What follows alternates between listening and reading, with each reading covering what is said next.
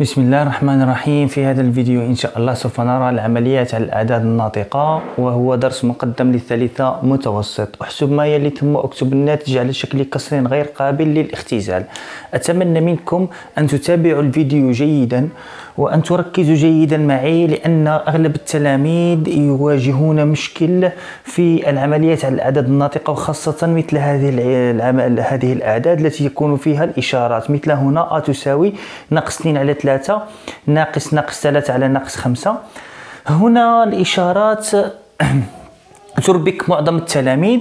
لذلك أرجو منكم أن تتابعوني جيدا. آه، لدينا العدد ب اللي هو 3 على 5 ناقص 2 على 5 في ناقص 3 على 2 والعدد س اللي هو ناقص 2 على 3 زائد ناقص 5 على 6 قسمة ناقص 4 هذه هذه الأعداد آه، سوف نشرحها نحاول أن أشرحها أشرحها بالتفصيل. لذلك تابعوني جيدا. وذلك آه، انطلاقا من العبارة أ أو العدد أ أول شيء أول شيء كيف نقوم بالشروع في هذه العملية؟ أول شيء أريد منكم أن تفهموا شيء وهو دائما دائما كي تكون عندكم عملية مثل هذا من مثل هذا الشكل لازم تتخلصوا من الإشارات هي الأول. يجب علينا التخلص من الإشارات. لماذا؟ لكي لا نجد صعوبة في العملية بعد ذلك. هنا ماذا نفعل؟ نلاحظ أن العدد الناطق الأول شو؟ تبعوني مع تابعوا معي هذه الطريقة سوف تساعدكم كثيرا في العمليات الأعداد الناطقة. العدد الأول يجب علي أن أتركه بإشارة واحدة. هنا نلاحظ اثنان على ثلاثة قبله كم من إشارة؟ إشارة واحدة. معناه نكتبه كما هو. الآن لم أتحدث أبدا عن عن توحيد المقامات وإنما أتحدث عن الإشارات. الآن العدد الثاني اللي هو 3 على 5 كم قبله من إشارة؟ لاحظ جيدا. واحد هذه الناقص ثم ماذا؟ الناقص الثانية ثم الناقص الثالثة اللي قبله ثلاث إشارات. معناها هو العدد الثاني 3 على 5 يجب علي هذه الثلاث إشارات أرجعها إشارة واحدة. كيف ذلك؟ وذلك بالإعتماد على القوانين التي درستمونها في أول سنة التي تخص ضرب وقسمة أعداد نسبية. لاحظ الإشارات. هنا لدي ناقص ناقص ناقص. دائما ماذا نفعل؟ نضع حرب الإشارة ما معنى حرب الإشارة معناه يجب علي أن أتخلص من هذه الإشارات. لدي الناقص مع الناقص هذه. ضرب إشارتين. الناقص مع الناقص ماذا تعطيني؟ تعطيني زائد. بقسمة إشارتين. أخطر درستو في, في, في أول سنة أن الناقص في الناقص أو الناقص قسمة الناقص تعطي لك زائد. ودرستم أن الزائد في الناقص أو الزائد قسمة الناقص تعطي لكم ناقص لاحظ. الناقص مع الناقص كم تعطي لنا؟ زائد. وهذه الزائد مع هذه الناقص كم تصبح؟ زائد في الناقص. ها هي. الزائد في الناقص كم تعطي؟ ناقص. نقول في أو قسمة نفس الشيء. القسمة والضرب نفس القانون. معناه الزائد في الناقص كم ناقص؟ معناه هاد ثلاثة الإشارات غادي يعطوني إشارة واحدة اللي هي كم؟ ناقص. فقط. هذه الإشارة تشوفوا. شو شو شو هذه الطريقة فاش بسيطة؟ بسيطة أنها تخلصك من جميع الإشارات. الناقص مع الناقص زائد الزائد مع الناقص ناقص. ودرستم درس آخر اللي هو لاحظ جيدا معي درس آخر آه، اللي هو تجد عدة أعداد نسبية. معناه لو تكون لديك هكذا مثلا ناقص في الناقص في الناقص هكذا. ماذا تصبح هذه؟ قلت وش كنتو ديروا كنتو تجمع تحسبون عدد العوامل السالبة. واحد اثنان ثلاثة. ثلاثة هو عدد فردي. معناه الناتج سالب. معناه تحسبوا شحال كاين من ناقص. إلا كان عدد فردي فهو الناتج سالب. إلا كان عدد زوجي مثلا كيما هنايا كون يعطيو لكم كيما هاك ربعة تاع الناقص ربعة تاع الناقص أربعة عدد زوجي. أربعة عدد زوجي معناتها الناتج موجب. هنا هذه القواعد تساعدنا كثيرا في التخلص من الإشارات. معناه لدينا واحد اثنان ثلاثة. ثلاثة فردي هذه طريقة ثانية. ثلاثة فردي معناه ثلاثة فردي الناتج سالب لاحظ جيدا كيف كانت العدد كيف كان العدد أ وكيف أصبح بتبسيط الإشارات. الآن نشرع في توحيد المقامات. الآن لكي نوحد المقامات نضرب هذه في خمسة. وهذه في ثلاثة. المقام في المقام. ولما نضرب في البسط في المقام نضرب في البسط. ولما نضرب في المقام نضرب في البسط. فكم تصبح النتيجة؟ لاحظ جيدا حذاري لكي لا لا نقع في الخطأ اكتب هذه الناقص وهذه الناقص. ها الكسر الأول وها الكسر الثاني؟ الكسر الأول كم أصبح؟ اثنان في خمسة. أو العدد الناطق الأول كم أصبح؟ عشرة على خمسة عشر. والثاني كم أصبح؟ تسعة على خمسة عشر. فكم تصبح النتيجة؟ لدينا طرح عددين نسبيين لهم آه عفوا عددين ناطقين لهما نفس المقام لهما نفس المقام ماذا نفعل؟ نحتفظ بنفس المقام ونطرح بسطيهما. ناقص عشرة ناقص تسعة كم؟ هي ناقص تسعة عشر. هنا لدينا في الأصل هذه هذه ناقص عشرة باش تفهموها مليح. ناقص عشرة ناقص تسعة هي معناتها كم من هذه؟ زائد ناقص تسعة. هكذا هذه الكسبة وهذه الكسبة غير كيف كيف؟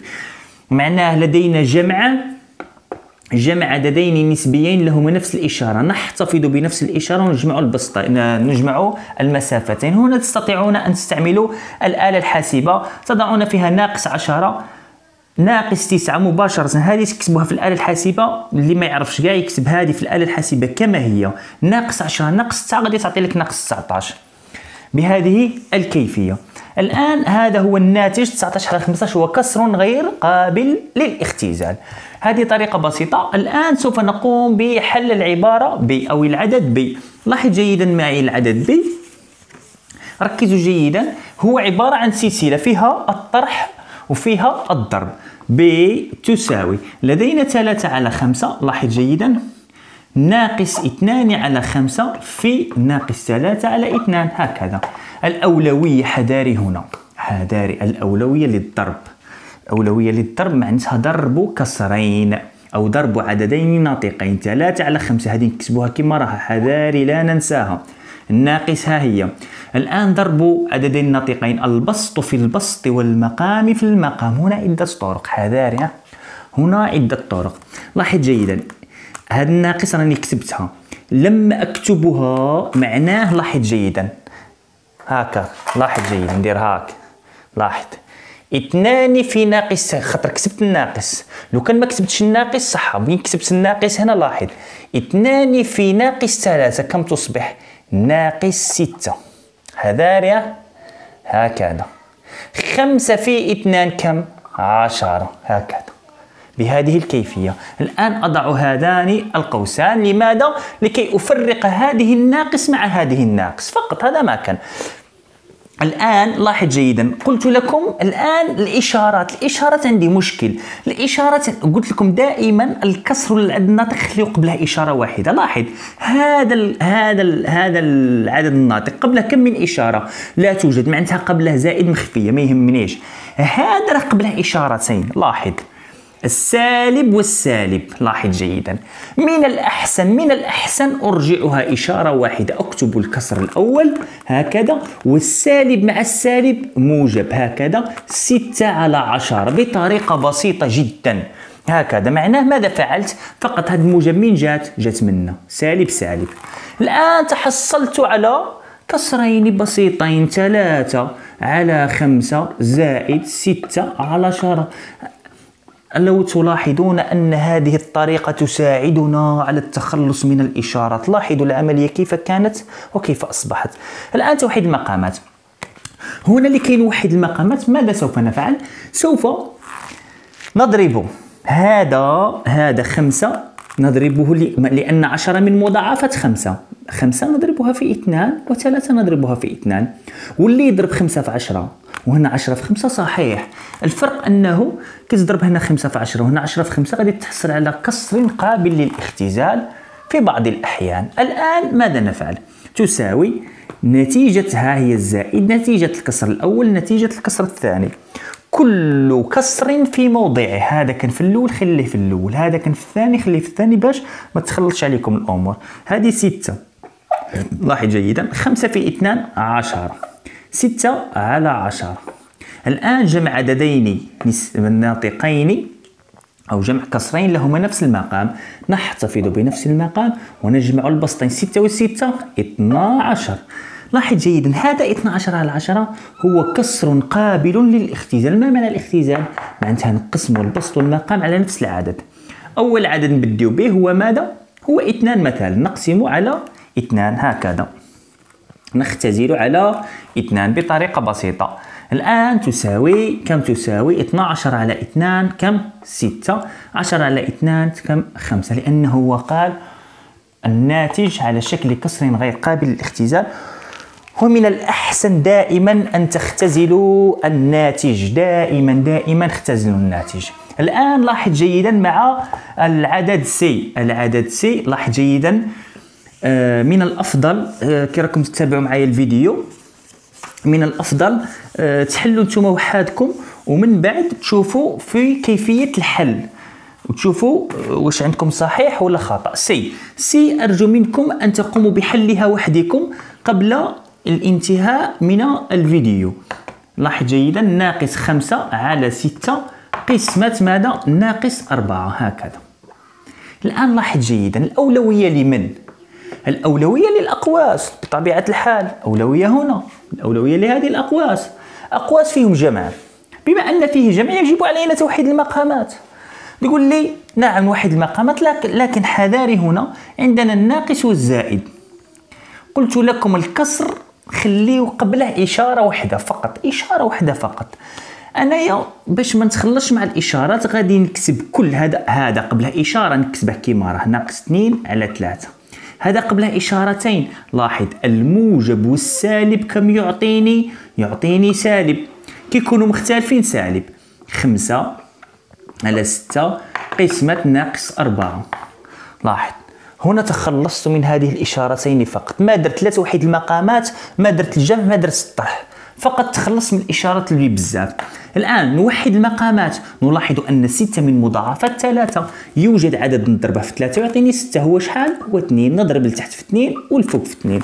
حذاري هنا ما نقلعوش الأقواس. علاش ما نقلعوش الأقواس؟ خاطر مازال ما درتش عملية الطرح. لخاطر راني نوحد فقط المقامات. لاحظ جيدا. تصبح في البسط ناقص أربعة على ستة. ناقص خمسة على ستة. قسمة ناقص أربعة. حذاري. كاين بزاف فيكم اللي يدير هاد الغلطة يدير هاك. حذاري حذاري حذاري. هنا تمشي لك الأولوية للقسمة وهذا خطأ. هما راهم دايرين الأقواس هنا. لذلك الأقواس ما نقلعهمش سوى لا درت عملية الطرح. تساوي. الآن نبقى نخدم غير داخل الأقواس. داخل الأقواس داخل الأقواس. تحت الزوج نتاع الكسور يعطيوني فقط عدد واحد. فقط كسر واحد أو عدد ناطق واحد. الآن لهما نفس المقام. ماذا نفعل؟ نحتفظ بنفس المقام ونضع ناقص أربعة ناقص خمسة. كم تساوي؟ ناقص تسعة. جمع عددين نسبيين لهما نفس الإشارة. تعطيني مباشرة ناقص تسعة. هنا كاين البعض اللي يقول لك باللي ما تستعملش الآلة الحاسبة إلى غير ذلك.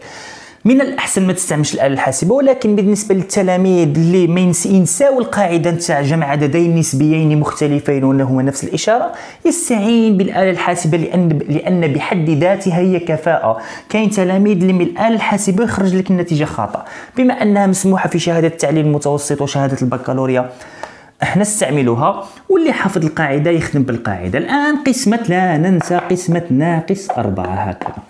الآن تحصلت على ماذا؟ تحصلت على قسمة عددين ناطقين. الآن هذين العددين القسمة ماذا تقول لك القاعدة؟ تقول لك احتفظ بالعدد الأول ناقص 9 على 6 والقسمة ردها ضرب وقلب هذا دير له المقلوب الضرب في المقلوب هو في الأصل على واحد هذاري فتصبح واحد على ناقص أربعة. هكذا. بهذه الكيفية. الآن لاحظ لاحظ جيدا معي. هذه الاقواس راني نديرها غير باش تفهموا كيما هذا القوس لا داعي له لا يوجد مشكل. هذا درته باش هذا الفي ما تخلطليش مع الناقص فقط. ماذا تقول لك القاعدة؟ تقول لك اضرب البسط في البسط والمقام في المقام. ناقص 9 في واحد ناقص 9 حذاري تنسوا هذا الناقص لأن السالب في الموجب سالب. 6 في ناقص 4 كم؟ ناقص 24 بطريقة بسيطة جدا. الآن انت انهيت لم أنتهي بعد. لاحظ جيدا معي ماذا سوف نفعل الآن. يجب علينا أول شيء الاختزال والتخلص من السالب. سالب سالب. سالب على السالب يعطي لك موجب. الموجب في أول السطر تستغني عليه ونقوم بالاختزال. هذا يقبل. على ماذا؟ على ثلاثة وهذا على ثلاثة. على اثنان تسعة لا تقبل على اثنان. معناتها على ثلاثة تعطينا الفوق ثلاثة. والتحت 24 على ثلاثة تعطينا ثمانية. بطريقة بسيطة جدا. الاختزال راني داير دروس على الاختزال. بهذا نكون قد أنهينا من الحل المفصل لهذا التمرين أو العمليات على الأعداد الناطقة. معناها تابعوا الفيديو بتمعن انايا آه، من وجهة نظري آه، آه، شاهدوا الحل نتاع العبارة ا أو العدد أ. والعدد ب والعدد سي قوموا أنتم بالحل. وبعد ذلك انظروا إلى التصحيح وتشوفوا روحكم واش قبضتوا من الفيديو هذا ولا ما قبضتوش. أتمنى لكم حظ موفق.